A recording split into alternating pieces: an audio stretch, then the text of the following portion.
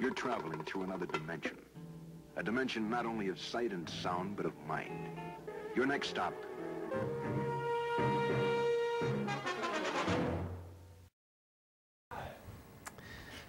Well, good evening. Welcome to uh, Word from the Lord. Got uh, some kind of going on with my, I don't know if that's me. There, there you go. Welcome to Word from the Lord. James over here with you, and we're glad that you are with us tonight. Uh, there are other things you could be doing, other things you could be watching.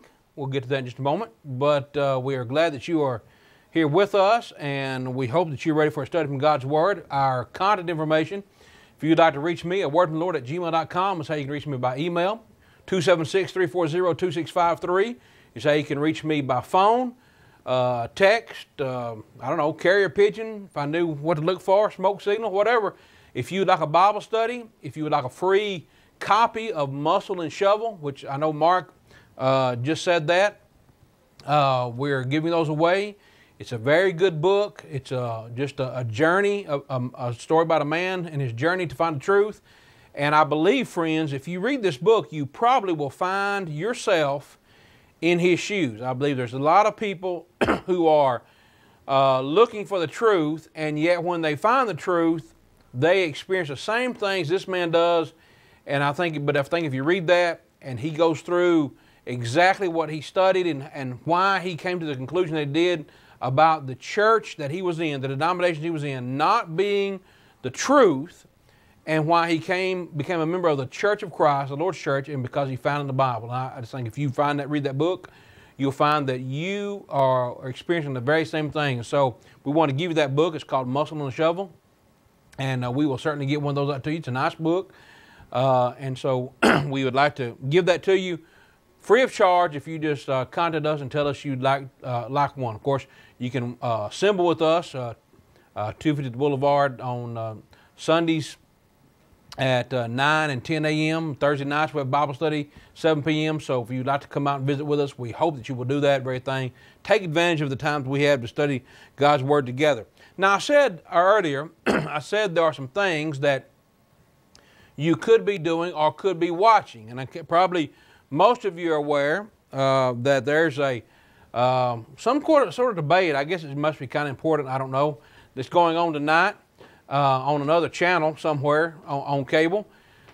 but, you know, it's, it's a presidential debate. It's a uh, uh, Republican ca uh, candidates presidential debate. Everybody's up in, in arms about it because one of the uh, participants, one of the candidates, is not showing up. Um, Mr. Trump decided he wasn't going to come. He's mad about something, somebody's mad about him, or he said something, she said something, whatever, and so he's taking his toys and going home. I don't know. I don't know how you feel about him. But I'm just saying, there's a lot of people talking about why he won't debate. And I just want to show you that this is something that took place. Uh, I'm not going to play this video. I haven't listened to it all, so I don't really know how long it is or what's going to say. But this is a, uh, a video uh, that appeared on the news, and they're talking about in 2011, Mr. Trump was going to be a moderator for the Newsweek, uh, Newsmax debate, and uh, some of the participants weren't going to show up, and he said that it seems a little cowardly or lack of courage, some of those effects. So when they didn't show up, he said it was lack of courage, and now he's not showing up for debate. Well, I don't know if it's lack of courage. Maybe he's got a reason for doing it. I don't really care. My point is this, friends.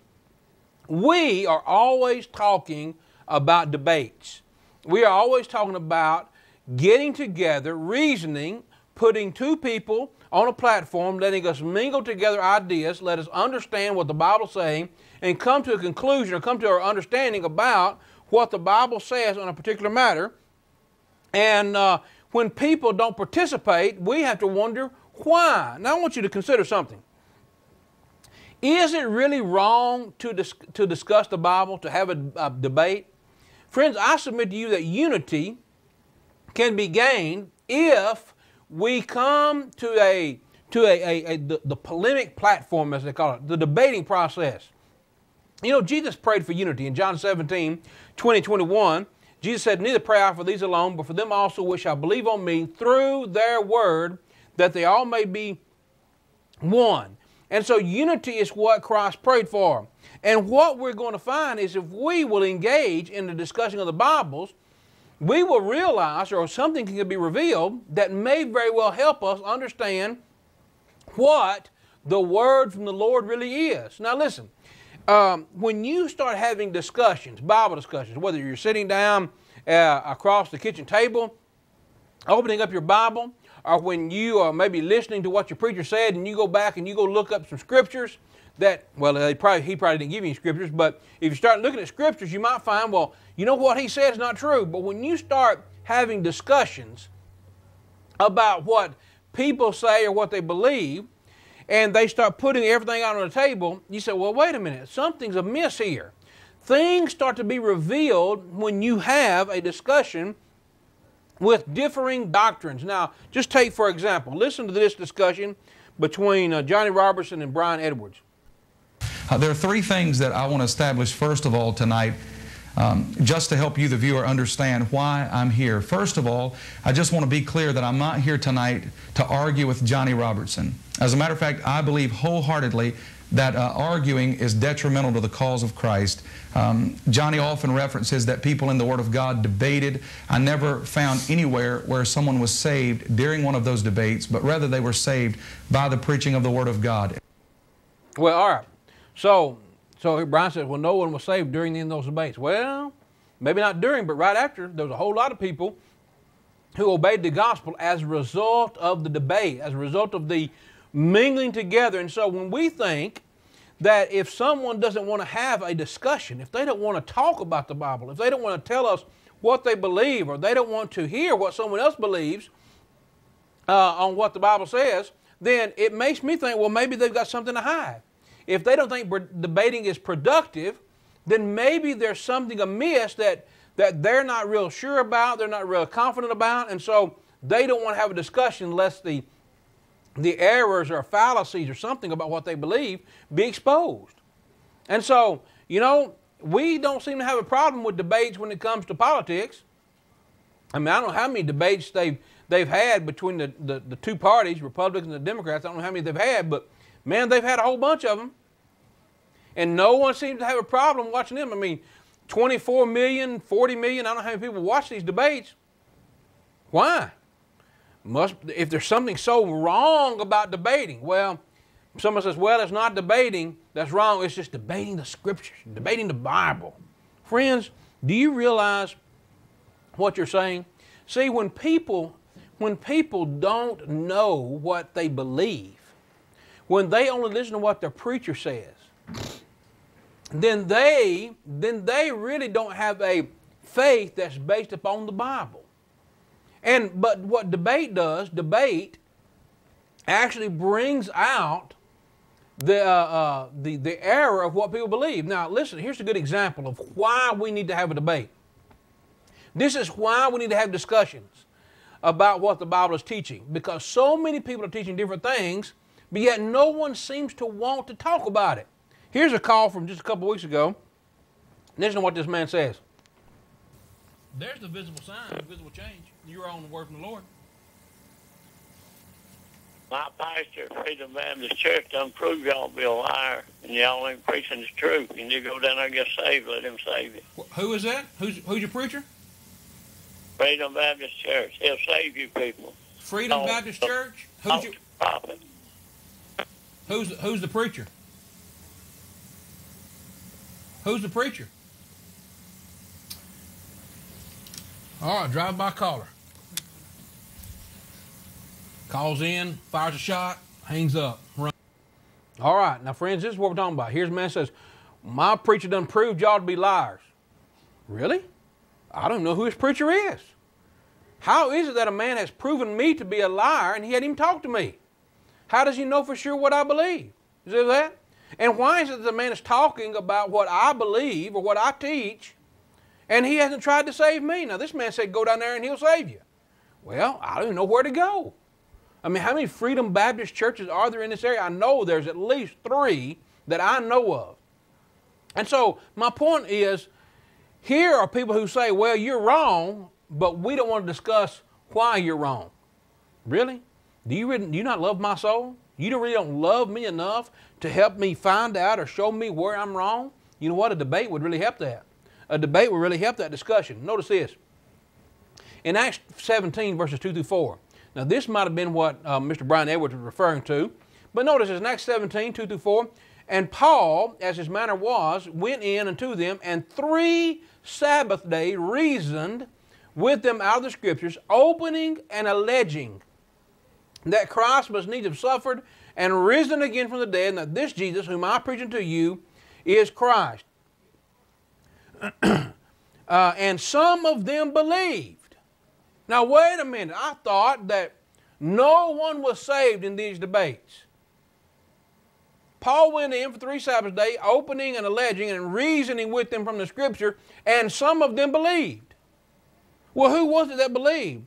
Um, and devout Greeks, a great multitude, and of, the chief women, not a few.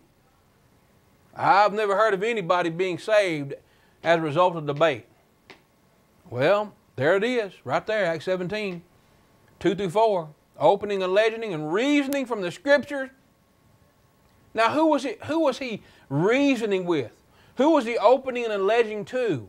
Well, it had to be Jews who did not believe that Jesus was the Christ, but yet notice what the text says. They're reasoning and opening and alleging that Jesus must have needs suffered, risen again from the dead, uh, uh, risen again from the dead, and that this Jesus, whom I preach unto you, is Christ. He wasn't preaching, he was proving or defending what he preached. And the result was people obeyed. They believed. Now, if you just stop there, I mean, there ought to be, there shouldn't be a, there ought to be a line of Baptists out here to debate because debate causes people to believe. They believe that's all there is to being saved. Well, what better way to get people to just believe and believe only than to have a debate? But yet, stand, there's plenty of room out there, you know. You know, two chairs, no waiting, like old Floyd's barbershop, you know. The, there, there, there's no waiting to, if you want to have a debate. So here's what we're talking about, friends. Unity requires discussing these differences if we're going to get along. Now, the New Testament church grew and it was unified because they engaged in these discussions. They engaged in these important matters. They were discussing their differences, and that's why they grew. Now, notice this. Let's look at the dissension and disputation. See, there are some differences but when you have disputation, you, you come together in agreement. All right?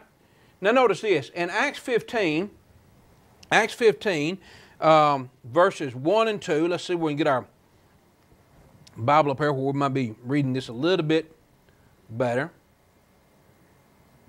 Here we go, Acts 15, uh, verses 1 and 2. And, a certain, and certain men which came down from Judea taught the brethren and said, Except ye be circumcised after the manner of Moses, ye cannot be saved.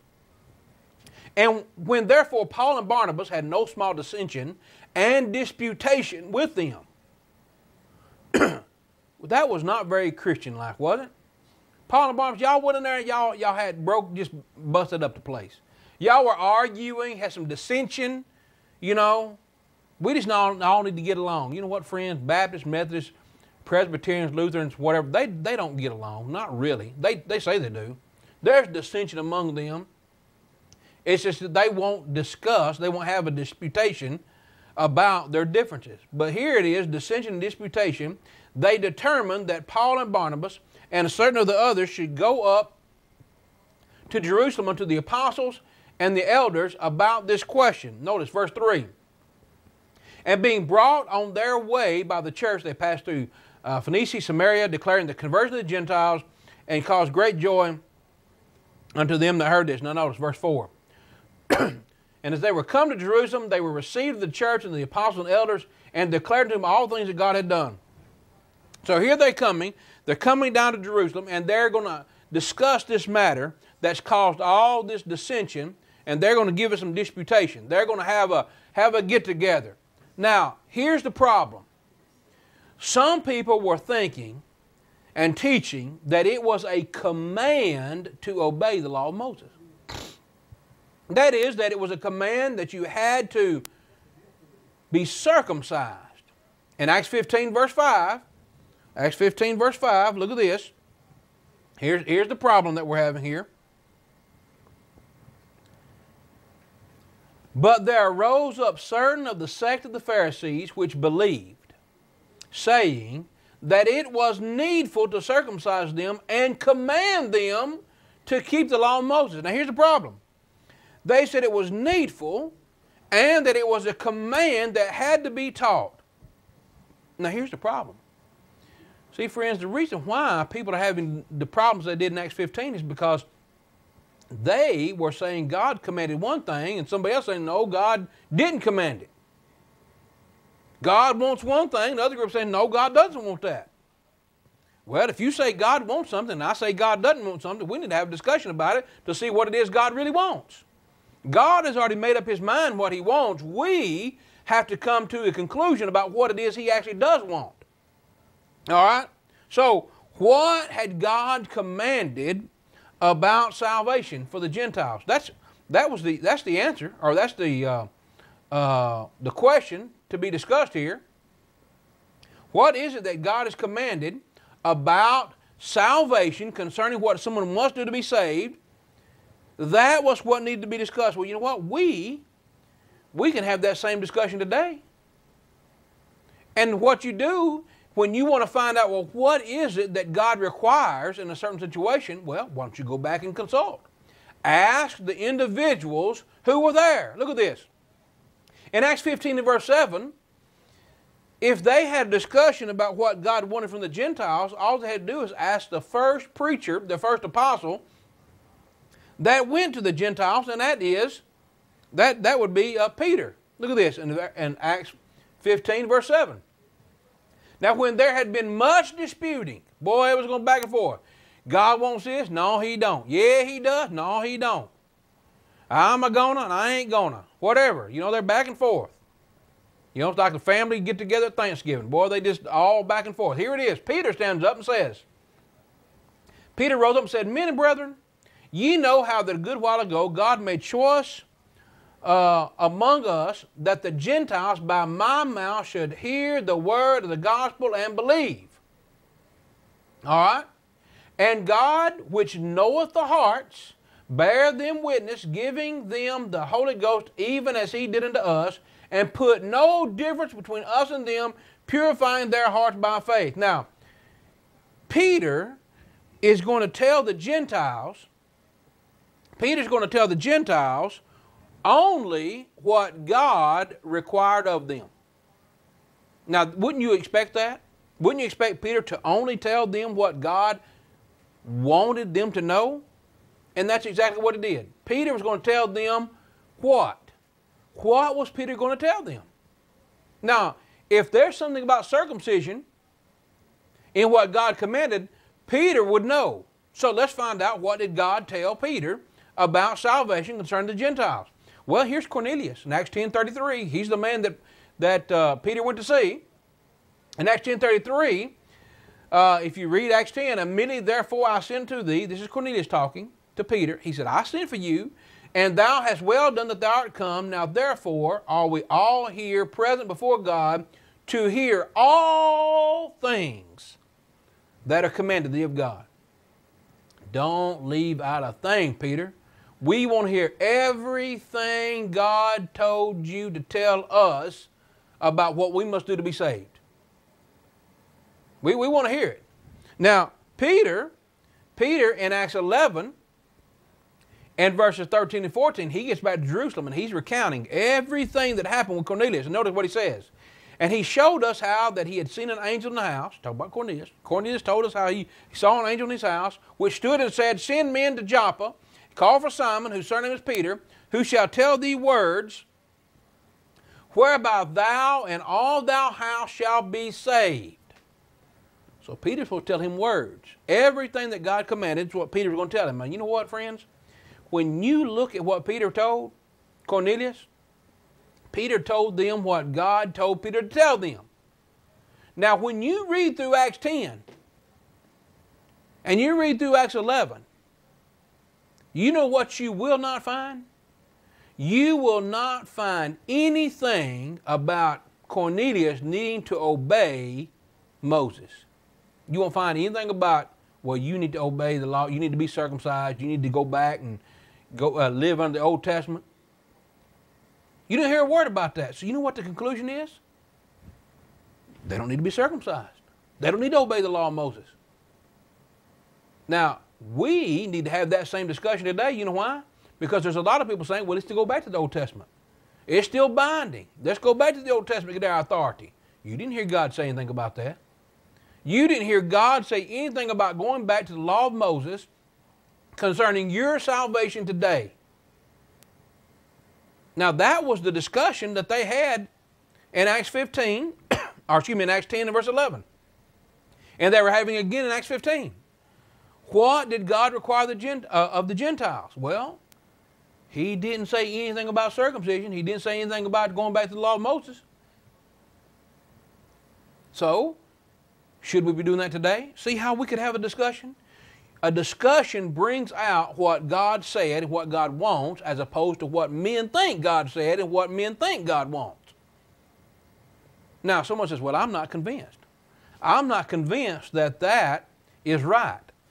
I think that there may be something Peter left out, Peter forgot. Well, just listen to Paul and Barnabas then. Because Peter told them what God told Peter to tell them. Now, if that's not convincing enough, look at this in Acts 15 and verse 12. Acts 15 and verse 12.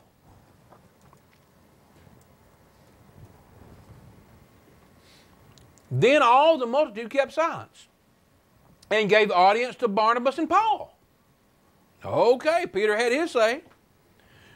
Barnabas and Paul, you get your say. Now, you know what? We have some folks today that say that Peter and Paul are were teaching different doctrines, that they're teaching different gospels.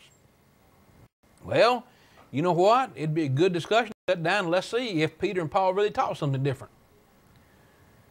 Peter, uh, uh, Paul and Barnabas sat down and they declared what miracles and wonders God had wrought among the Gentiles by them. And after they had held their peace, James said, wait a minute. Paul and Barnabas Paul and Barnabas uh, were telling what they did. That's exactly right.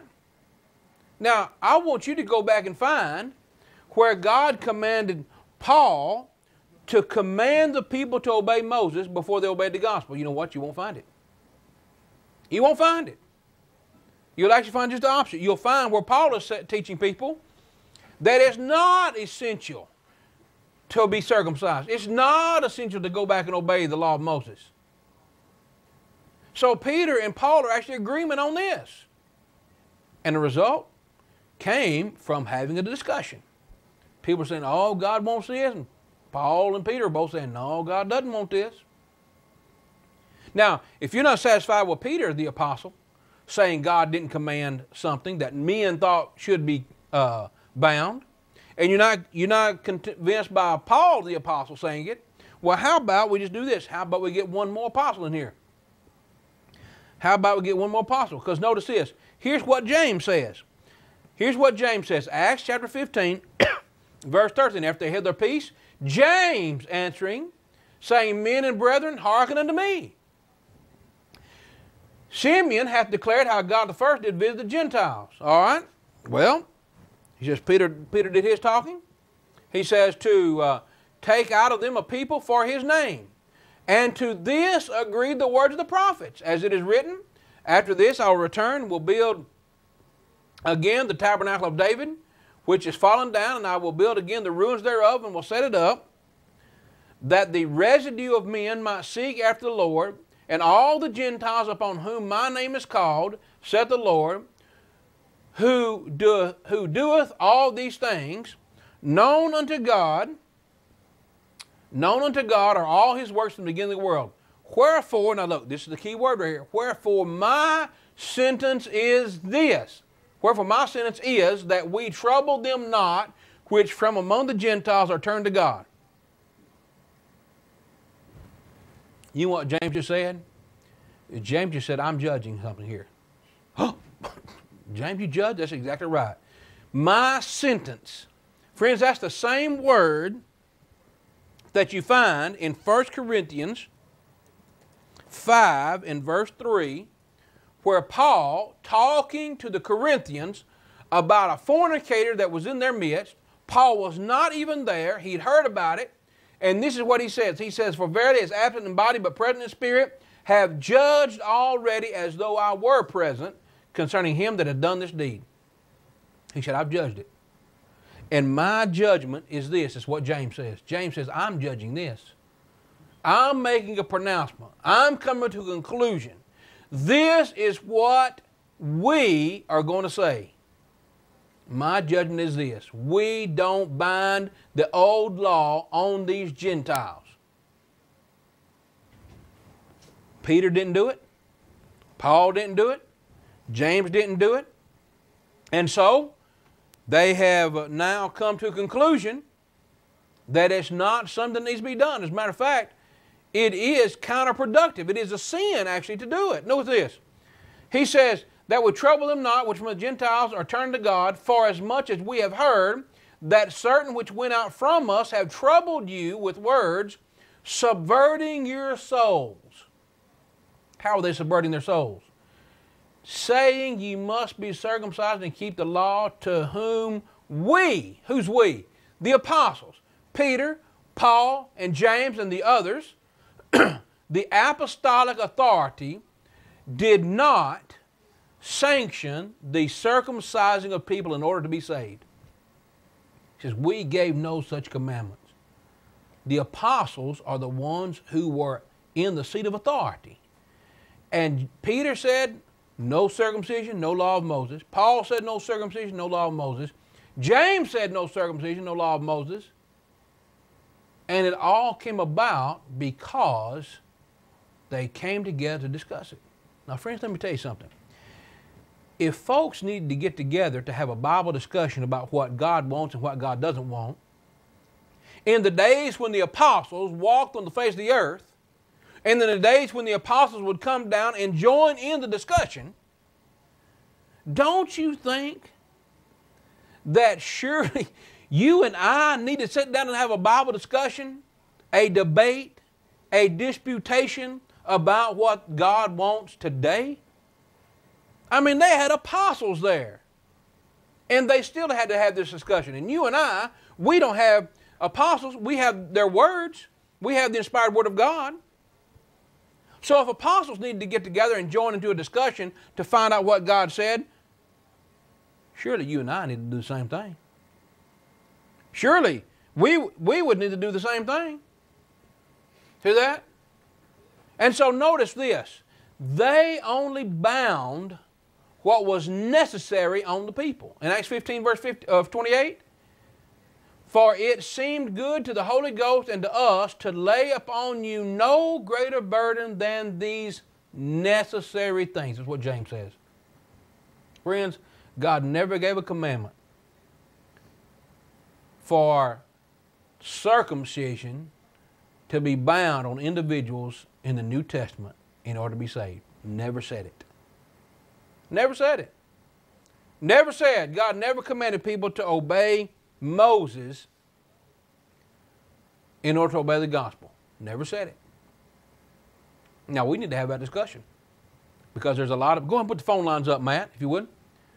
Because there's a lot of people who think that, yeah, we, we still bound in the old law. We're still bound. We still, we still need to go back and get our tithes and our instrumental music and everything else under it. We, we need to have the discussion. Because it really comes down to authority. What does God want? What does God command? As opposed to what do men think God commands? And again, if apostles need to come together to have a Bible study, surely you and I do certainly today it would be uh, necessary or essential, beneficial for us to get together and find out what God says.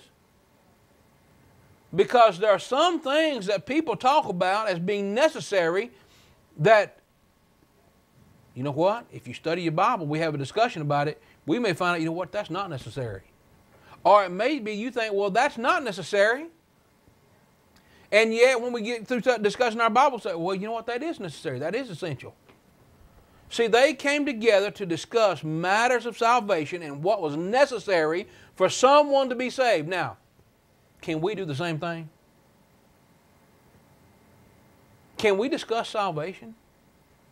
Can we discuss things that accompany salvation? Things that are connected to our salvation, just like they did in Acts 15, verses 1 and verse 5? Remember that? Acts 15, verses uh, 1 and 5. Certain men which came down from Judea taught the brethren, saying that it is, uh, uh, except ye be circumcised after the manner of Moses, you cannot be saved. Well, now, I don't know that anybody's teaching that you have to be circumcised in order to be saved. But I know there's some folks that are teaching there's some things that are essential that are not. And some folks are teaching that some things aren't essential that I know they are. But the only way we're going to come to a unity, have unity, the only way we're going to come to agreement is if we, if we have a, a discussion on these matters. So, what are some necessary things to that? What are some necessary things? What about this? What about is it necessary to be baptized for the remission of sins? Can we, can we dispute and discuss this matter? Is baptism really essential? Is it really necessary for the remission of sins? See, some people are going to say no. For example, Tim White, Baptist preacher, listen to what he says.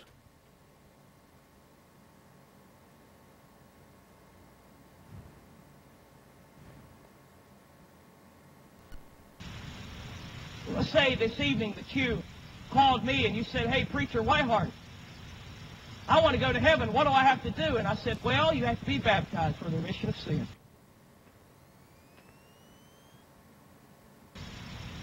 And you said to me, well, can you baptize me this evening? And I said to you, well, I'm kind of tied up tonight, but I tell you what I can do, because you know human beings get tied up with things. I tell you what I'll do. I'll meet you tomorrow.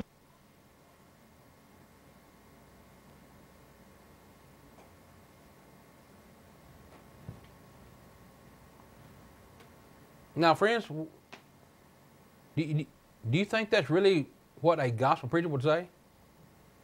I'll meet you tomorrow.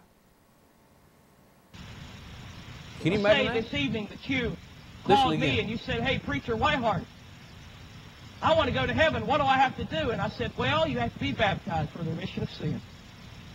And you said to me, well, can you baptize me this evening? And I said to you, well, I'm kind of tied up tonight, but I tell you what I can do, because you know human beings get tied up with things. I tell you what I'll do. I'll meet you tomorrow. I'll meet you tomorrow. Well, friends, what if someone said, Well, Preacher Whiteheart, what must I do to be saved? Well, you need to repent. Well, I'm kind of tied up right now, Preacher Whiteheart. I don't really want to repent right now. You know, I'm right in the middle of a, of, of a good sin, boy. I'm down here at the bar getting drunk. I, I- I'm having a good old time. I, I don't want to repent right now. What about do it tomorrow? Kind of tied up right now. You think he'd say okay? See how silly that is, friends? Listen, if the Bible says that a person must be baptized for the remission of sins to be saved, and someone asks me that, I know what the Bible says. The Bible says in Acts 2.38, Peter told them, repent and be baptized, every one of you in the name of Jesus Christ, for the remission of sins. Now, if someone called up and asked me that, and I told them that, and they said, Well, can you baptize me for the remission of sins tonight? I can tell you there's a number of things that I will tell them, but there's one thing I won't tell them. And it won't be, Well, I'm kind of tied up right now. You know what? There was, a, there was an occasion, I'll tell you, this is a true story. The man called me one day and he said he wanted to be baptized. So I was talking to him. I said, Well, where are you? He said, Well, I'm in Danville. Well, I was in Burlington. I said, you know what, sir? I said, you don't have to have me to baptize you. I said, but let me call a faithful Christian and put you in touch with him, and he'll baptize you. And if and if I can't get a hold of him, I'll be up there just as quick as I can. I mean, I'm on my way. You know where I was going? I was I was in a Bible study. I was going to go into a Bible study. Now, if you don't believe that, the brother's probably listening and watching. He obeyed the gospel. That man obeyed the gospel. He's a member of the church in Danville, Virginia, right now. You see, I, I may be I may be a thousand miles away, but I'll tell you this: I'll find someone. I'll find someone who will who, uh, baptize you and help you obey the gospel if I can't get there and do it. I can tell you another story about a man in, uh, in Kentucky, same way. Been watching our programs on TV. He said, I need to obey the gospel. I said, let me find somebody. Let me call somebody. And that man's a faithful member of the church today, too. I'm not about to put someone off. Matter of fact, that happened after a TV program. I was at home. I was in bed. It was midnight when the man called me. Now, friends, I'm saying to you, you know what? That's the difference between a gospel preacher and a Baptist preacher. A Baptist preacher say, Well, I'm kind of busy right now, kind of tied up, you know. Yeah, he, he probably was tied up. He playing on with the trombone player, I think, or somebody, piccolo player, flute player. He might have literally been tied up. I don't know. But see, friends, the only way we know for sure what the Bible's going to say on this matter is if we had a discussion. Is it really necessary? Is it really essential? Can we get together and find these things out? See? But you see, so many people try to get around God's command instead of just having a discussion and saying, yes, this is what God says, or no, this is not what God says. You know what they try to do? They actually don't deny that it's what it says. Now, follow me on this. You have preachers that they don't deny that the Bible says that a person must believe and be baptized in order to be saved. Mark 16, look at this. Mark 16.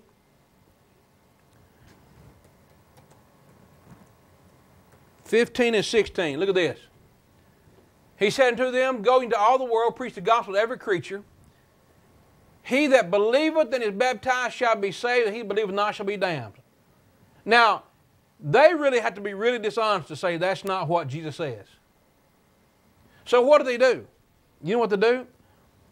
They try to make the command not apply, uh, applicable today. Look at this. Listen to what this, uh, this preacher says. All right? Listen to what he says. Uh, but get over here and get my Bible off the screen. My monitor over here is not working. Listen to what he says about Mark 16 are the commands to be baptized.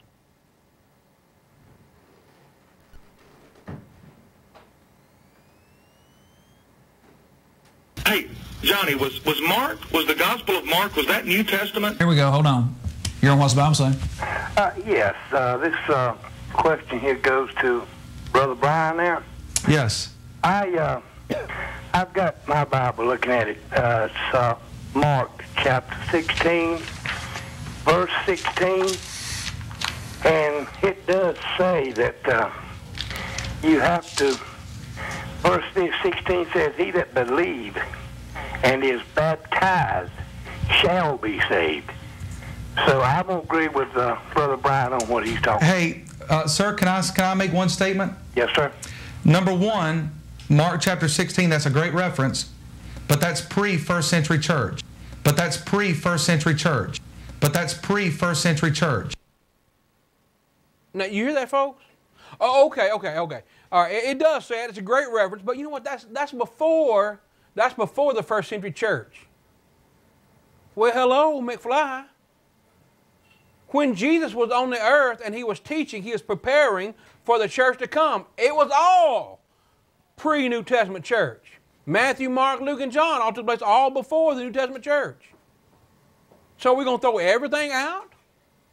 You know what? We got to throw John 3.16 out. That's before the New Testament church.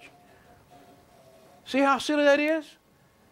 So it's not like they're denying that baptism is for the remission of sins and that Jesus said it's for the remission of sins. They want to say, well, that's before the New Testament church. That just, you know, okay, but we're going to move it back here before the New Testament church. Well, everything, everything that you uh, quote from John, you know, that's all New Testament church before pre-New Testament church too. John 3.16, Jesus hadn't even died on the cross yet. He just gotten going. Now, are we going to say that's pre-New Testament church too, so we can't use that one?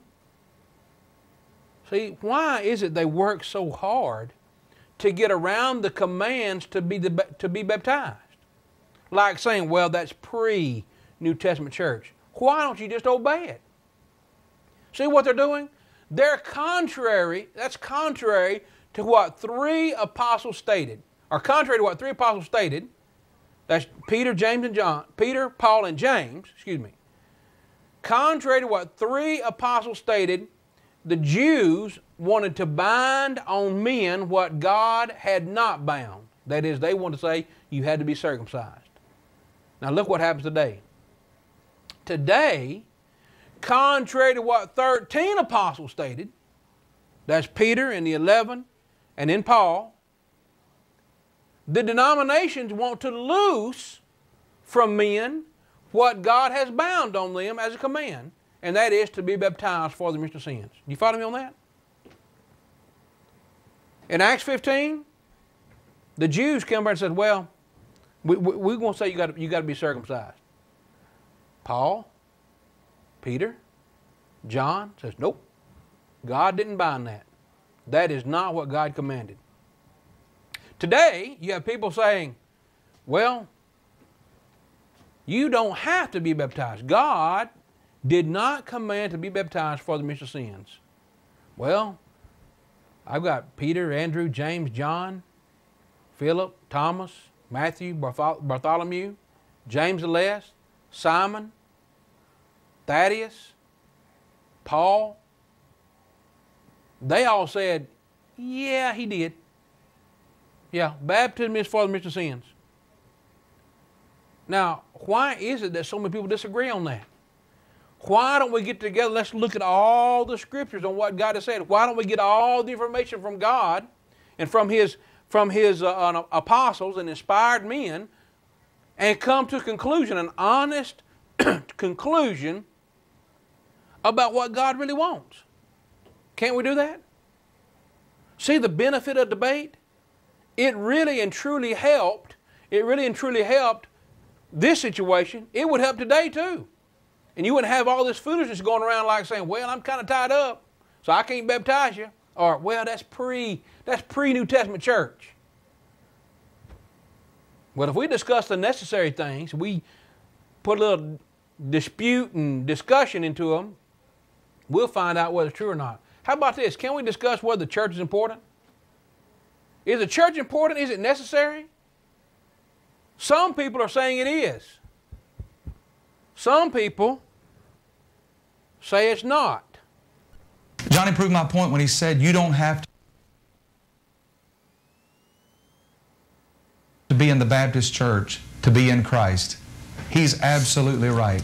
The important thing is that you be in Christ. You don't have to be in the Baptist church to be in Christ. You don't have to be in the Baptist church to be in Christ. You don't have to be in the Baptist church to be in Christ. You don't have to be in the Baptist church to be in Christ. Well, no doubt about it, friends, I want to be in Christ. But I don't have to be in the Baptist church. Okay? All right? Church is not important. The Baptist church, anyway, is not important. That's one Baptist preacher I'm in the church, I'm saved. But see, I don't want to be in the church. I want to be in Christ. Well, if I'm in the church, I'm in Christ. Romans 12, verse 4 and 5. But see, I don't want to be in the church. I want to be in Christ. Well, but see, I don't want to be in the church. I want to be in Christ. Well, All right, there's another Baptist preacher. I don't want to be in the church. I want to be in Christ. Church is not important. Church is not important. I could play you another. I could play you. I could play you Presbyterian saying the same thing. The church, being in the Presbyt- in the in the uh, uh, Presbyterian church, is not important. You have to be in the church that Christ built. Well, what does that tell you about the Presbyterian church then? You don't have to be in the Presbyterian church to be saved, but you do have to be in the church that Christ built to be saved. Therefore, the Presbyterian church is not the church that Christ built, and therefore, it's not the church of Christ. It's not, it's not essential. Baptist, Presbyterian, everybody, everybody that you talk to says, oh no, the church not, you don't have to be in church to be saved. Ask them. Ask your preacher friend. Friends, ask your preacher, do I have to be in the Baptist church to be saved? Do I have to be in the Methodist church to be saved? Do I have to be a member of this church to be saved? and I'm not talking about that particular uh, a congregation or group of people. I'm talking about that denomination. Do you have to be a Presbyterian to be saved? Do you have to be a Methodist to get to heaven? Do you have to be a Lutheran to get to heaven? If you want to enter heaven and spend eternity with God, do I have to be? Do I do I have to be in the Pentecostal Holiness Church? Ask them. And they're going to say no. And they're going to say no. And if they say yes, I'd sure like to know that too. Because then I have another question that we need to discuss. But here's what I find very interesting. Well, first of all, listen, here's necessary. It can you be in Christ and not in the church? Friends, can you really be in Christ not in the church? In Ephesians 1 22 and 23. And when the Sabbath was passed, Mary Magdalene and, and the mother Mary and James, sorry about that. Ephesians 1 22 and 23. He hath put all things under his feet and gave him to be head over all things to the church, which is his body. Now, can you be in, in Christ? Can you be in Christ, in his body, and not be in the church? Well, I don't think you can. But the two people that we just listened to, and the countless others that believe the church is not important, will tell you, yes, you can. I'd like to know how. Maybe that's something we could discuss. How can you be in Christ and not be in the church? Why? Because the church is the body of Christ. Romans 12 and verse 5. So we, being many, are one body in Christ. One body is in Christ. See that? We need to have a discussion. How is it you can be in the church and not in Christ? I, I don't think you can separate the two. But maybe I'm missing something, friends. Maybe we need to have that discussion. Maybe the man that uh, from the Freedom Baptist Church, maybe he'll call in and uh, tell us who his preacher is, or tell his preacher to call in, and we'll have that discussion.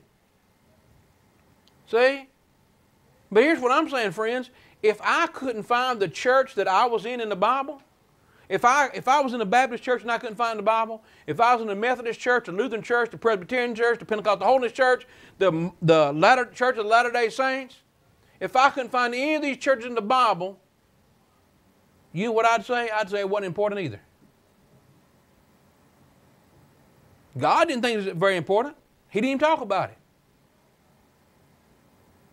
Now, can we discuss why it is you're in a church that's not important enough to be in, that's not important enough for God to talk about? Maybe we need to have that discussion. See, friends, I'm trying to get you to think. I'm trying to get you to reason and just, you know, get the old cobwebs out. Let's think a little bit. Why are you in a church not in the Bible? Why are you in a church that your preacher says is not even important? But here's what I find very interesting.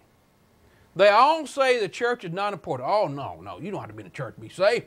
Um, you know, church, just be in Christ. You just got to be in Christ. But you know what? It really must be important to them because you know why? They all want to be like the New Testament church. and look at this. Here's a Baptist preacher. Here's a Baptist preacher. Two Baptist preachers said the church is not important. You just got to be in Christ. Church is not important. Church is not important. Listen to what he says. I believe that the independent fundamental Baptist church today is the closest thing that I can find to that New Testament church. I believe that the independent fundamental Baptist church today is the closest thing that I can find to that New Testament church. All right. The the independent fundamental Baptist church is the closest he could find to the New Testament church. Why is it even important? Why are you even trying to get close? It's not important. By the way, I call it the fundamental independent Baptist church, the FIB church, the FIB church. Got to be a fib, right? It's not true. Fundamental Independent Baptist Church is the closest he's found. Well, why are you even concerned about how close it is? Uh, the uh, uh, independent means that a church patterns itself after the New Testament example and that it stands alone under the authority of the Bible. I'm convinced that for uh, in this day and time that the, uh, the, the autonomy of the local church, the independent fundamental Baptist church is the closest that I can find, James, that uh, uh, meets my needs. I believe that the independent fundamental Baptist church today is the closest thing that I can find to that New Testament church. Now, the name Independent Fundamental uh, Baptist Church is traditionally used by uh, churches that pattern themselves after the example of the early church. All right, here. So here, Mr. Linderman is saying the the Independent Fundamental Baptist Church pattern themselves after the New Testament church closest he's found to the New Testament church, but yet it's not very close because he can't show it in the Bible. And by the way, Mr. Linderman is one of these guys that came on, that came on and said he'd come back but never did. Here's one more from him. We get this to play. Uh, he's going to give us a little history lesson, I guess. But again, friends, if it's not important, why are you concerned about how close you are to the original?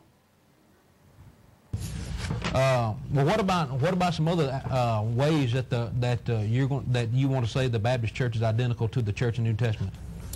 Okay, uh, Benedict in the history of the Baptist states that the gospel was preached in Britain within 60 years of the Lord's return to heaven. I don't find that he preached Church of Christ. I don't find that they named it anything else other than just the Baptist Church. These churches appear to have been Baptistic and remained sound until Austin, the Catholic monk, brought Catholicism to the Isles in 597 Now, where, where does it say they were, they were named Baptist churches?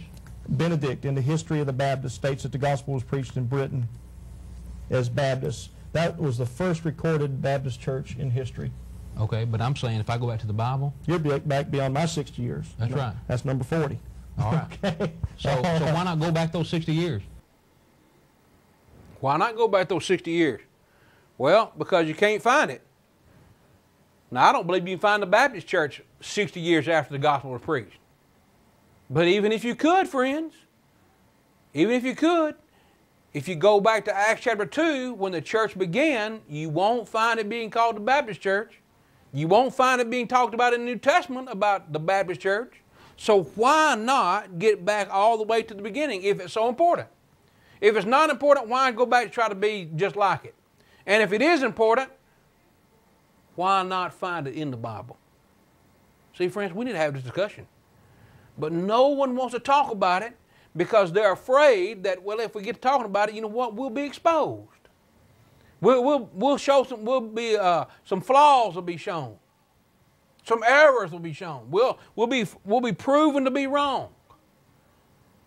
Friends, I'm going to tell you, we love you with all our hearts. And that's why we're trying to get you to think about what the Bible is saying versus what man is saying versus what you've been told all your life. Let's, let's reason together if it's really true or not. Okay, we've got a few minutes left. Here's one more. Here's one more I want to show you. Listen, friends, these folks will tell you the church doesn't matter. But I'm going to show you why I say they believe it. Listen to what Mr. Jackie Poe says, Mercy Crossing, Church of God. Listen to what he says about the Methodist Church versus the Church of God. I remember when he accepted me. I remember, I remember some of you forgotten. And some of the good church members at the Cliffview Church of God tried to clean me up a little bit. Have a little trouble understanding some of that. Some of them go to the altar and some of them shake me and put their hand under my mouth and do that. I thought, what in the world's going on here? I was just old Methodist boy, got saved. I love the Methodist church, by the way. Still do love that church. It's just old Methodist boy, got saved. It's just old Methodist boy, got saved. It's just old Methodist boy, got saved. I love the Methodist church, by the way. You can't get saved in Methodist church, apparently, according to Jackie Poe. Now, apparently, he's, he knows that church is important. At least he's going to say the Methodist church is not important because he couldn't be saved in it. Loved Methodists, by the way. Well, do you love them enough to tell them that they're wrong? Do you love them enough to tell them that, you know what, if you're in the Methodist church, you can't be saved? That's really what he believes. See, friends, they won't really say what they really believe. They really believe that they're the only ones going to heaven too. Otherwise, they wouldn't be in all these different, they wouldn't be in the church they're in. Now, friends, how much we care for you is we want to tell you the truth. And we want to have some Bible discussions with you, help you see what the will of God really is. Friends, I hope you can see that we're trying to help you see the necessary things for salvation. And the debate and discussion is a good thing. Thanks for watching. If you need contact me, 276-340-2653. Until then, always remember to ask what does the Bible say, and you get a word from the Lord. Have a good night.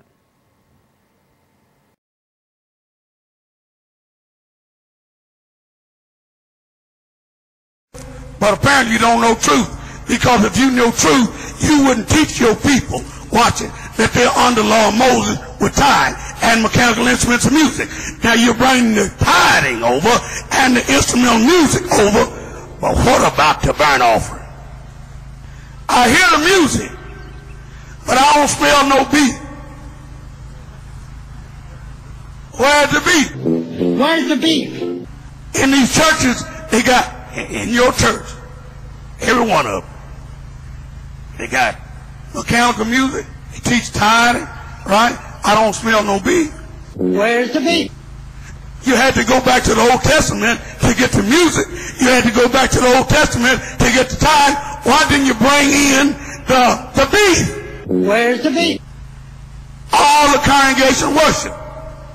So they were worshiping under law of Moses and had singers sing, trumpets sound, and all of this continued until the burnt offering was finished. Ask your pastor. Some of you people are watching this television program. Ask your pastor. Hey, where's the meat? I don't think there's anybody back there.